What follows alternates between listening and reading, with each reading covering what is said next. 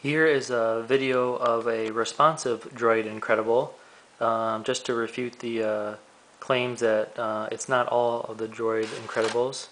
Here, there's no tricks involved, and it's on styrofoam, and we'll turn it on here, and works just fine. There's Google Earth right there, flicking, it's spinning, up, down, up, down, and everything seems to work just fine.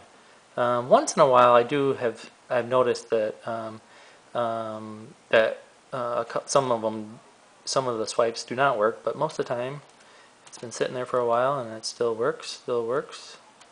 The Earth moves, and that's one Verizon H- HTC Droid Incredible.